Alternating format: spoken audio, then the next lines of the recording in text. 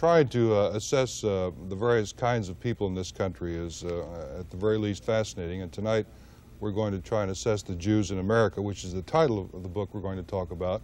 And with me to talk about the Jew in America is Max Dimont, the author.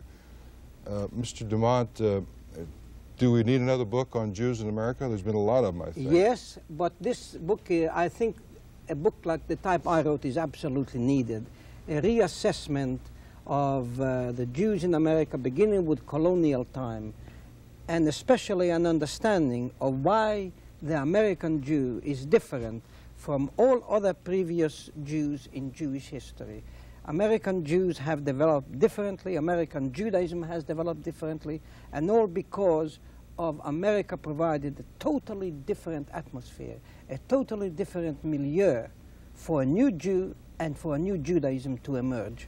But maybe uh, when people change, maybe, maybe they no longer stay the original format.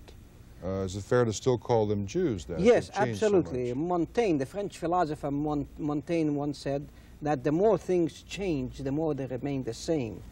That Judaism has always changed. That is why we Jews are here after 4,000 years, whereas all the other big civilizations and nations have disappeared. And the trick is to be able to change the bathwater but keep the baby. I'm going to say some things to you which I, I know will probably sound uh, uh, anti-Semitic and all those things. I don't you, uh, worry about that. You go ahead. My audience knows I'm not, but I want to represent some feelings. Please, go ahead. One of the feelings is, why do we spend so much time talking about Jews and Judaism? That for what, how many Jews are there in the world? 12 million. 12 million. It's a very small number of any group of people. Is that yes. correct? They seem to occupy an inordinate amount of time and on For a very good reason. Okay. Who else has produced the concept of God, Abraham, Moses, Isaiah, Jesus, Marx, Spinoza, Freud, Einstein? These are all people who have shaken the world with their ideas. And all these people came from this small people representing one half of one percent of the world population. And yet they have produced their ideas which have given the foundation for what we call civilization, given birth to Christianity, birth to Mohammedanism, birth to all the great ideas that have shaped the world. They're interesting, that's why.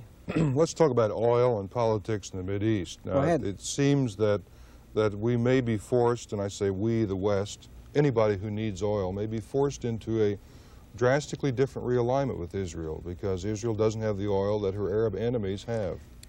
The whole thing is a phony setup. Look at it this way.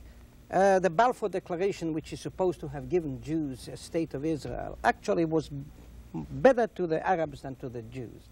Before World War I, there was not a single Arab state in the whole world. After World War I, with the Balfour Declaration, there suddenly are 22 independent Arab states who have a total landmass of 4,600,000 square miles. That is 1,600,000 more square miles than the United States has. And Israel got only one lousy state of 8,000 square miles.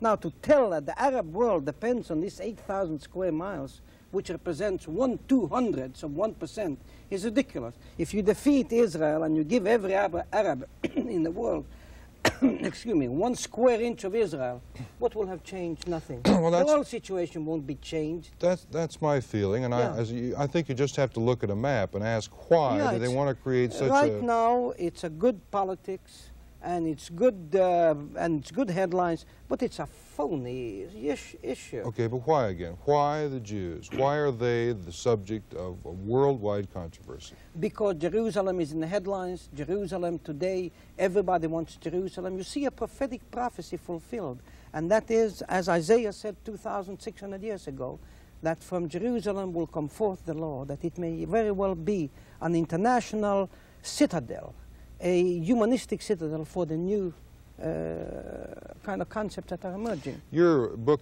that you've written, Jews in America. Uh, but I want to go back to this uh, oil issue. Okay. Uh, I don't think for a moment that America will sell out Israel for a couple of barrels of oil.